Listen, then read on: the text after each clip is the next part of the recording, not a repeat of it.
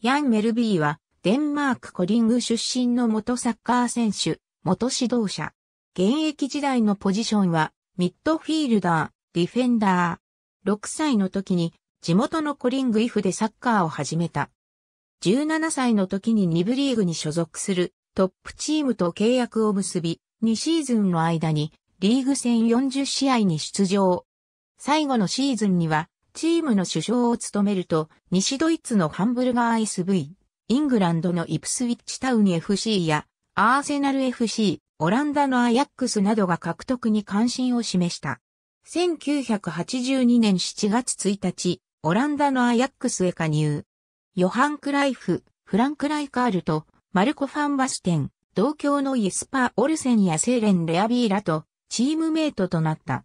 アヤックスでは監督のア・デモスのもと、1982から83シーズンに、エールディビジ、KNVB カップの2冠を獲得。翌1983から84シーズンには、フェーノールトに対し8から2のスコアで勝利した試合にも出場した。1984年8月、グレアム・スーニスの後釜を探していたリバプール FC の監督、ジョー・フェーガンが関心を示し、10日間のトライアルに参加。アイルランドのホームファーム FC とのテストマッチで結果を残したことから22万5千ポンドの金額での加入が決定。8月25日に行われた1984から85シーズン開幕戦のノリッジシティ FC 戦でリーグデビューをした。その後もスタメンに名を連ねたが、シーズン途中から同期入団のケビン・マクドナルドにポジションを明け渡す形となった。1985から86シーズン、フェーガンの後任として選手兼任監督となったケニー・ダルグリッシュは、メルビーをそれまでの守備的ミッドフィールダーとは異なる形で起用した。試合開始当初は3人目のセンターバックとして位置するも、試合の進行とともに中盤のスティーブ・マクマホンと並ぶ位置まで進出、時にはイアン・ラッシュの後方で、シャドウストライカーの役割も担うなど自由が与えられた。同シーズン、メルビーは公式戦58試合に出場して21得点を記録し、リーグ戦と FA カップの2冠を獲得。1986年5月10日に行われた FA カップ決勝のエバートン FC 戦では全得点に絡む活躍を見せるなど、自身のキャリアにおいてハイライトとなる試合となった。その後は度重なる怪我に見舞われ、2年目のシーズンを上回る活躍を見せることはなかった。1987から88シーズン、リバプールで2度目のリーグ優勝を経験するも、自身は開幕前の練習中にジョン・ウォークと交錯した際に足を骨折、治療のためシーズンをほぼ棒に振る形となった。さらに1988年2月に自動車の運転中に速度超過を犯したため警察に逮捕され、禁錮3ヶ月の刑を受けた。この不祥事により解雇の可能性も浮上したが、ダルグリッシュは理事会の面々に対しメルビーにもう一度チャンスを与えるように説得した。ダルグリッシュは、刑を終えたメルビーをすぐにトップチームに合流させたが、ロニー・ウィーランが同じポジションの代役を務めており、この後もレギュラーに復帰することが困難な状況が続いた。1989から90シーズン、副長を果たすと3度目のリーグ優勝を経験したが、途中交代での起用が多いことに不満を抱いた。1990年秋、FC バルセロナの監督を務めるクライフは、負傷離脱中のロナルド・クーマンの代役としてメルビーの獲得に乗り出した。バルセロナ側から掲示された金額は160万ポンドとされる。メルビー自身は、この遺跡に前向きで、11月10日に行われた、ルートンタウン FC 戦が最後の試合になると考えていたが、契約条件について、両クラブ間の合意に至らず交渉は決裂した。1990から91シーズン後半、再びレギュラーに復帰。監督がダルグリッシュからスーニスに交代した後、1991から92シーズン序盤にエバートン FC への移籍話が持ち上がったが残留を決意。レギュラーの座を維持し2度目の FA カップ優勝に貢献した。その後は怪我と身体的な衰えもあり、出場機会は減少。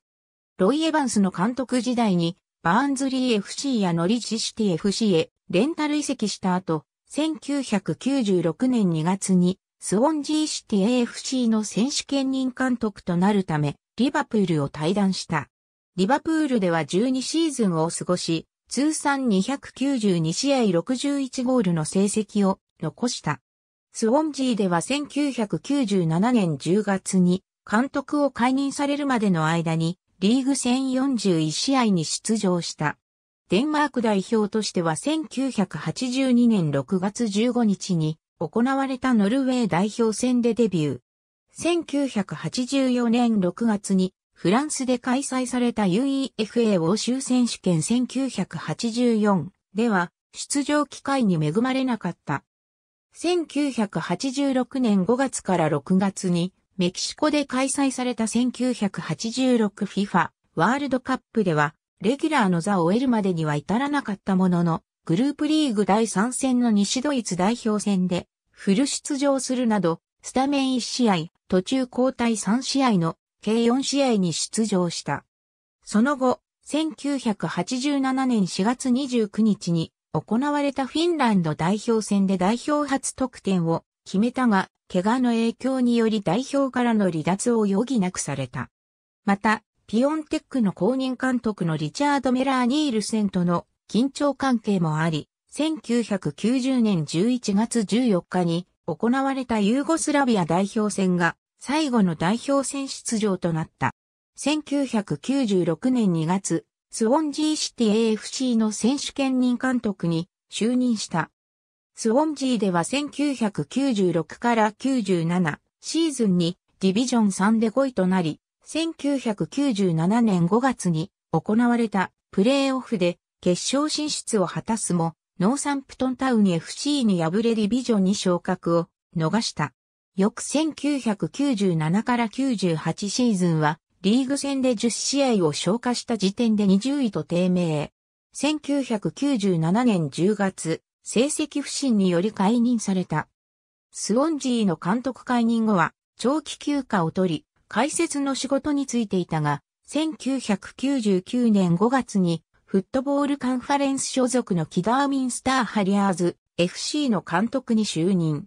チームを初のディビジョン3昇格に導きにシーズンを過ごし後、クラブを退団した。2002年4月、ディビジョン3所属のハルシティ AFC の監督に就任。契約期間は3年。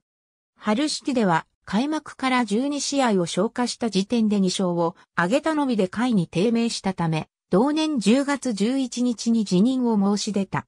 ハルシティを退団後は再び解説者を務め、2003年10月20日に、キダーミンスターのフットボールディレクターとして復帰。就任時点で降格ライン間近に低迷していたチームを引き継ぎ、最終的に16位でシーズンを終えた。その後、2004から05シーズンの最中にこの職務を退任した。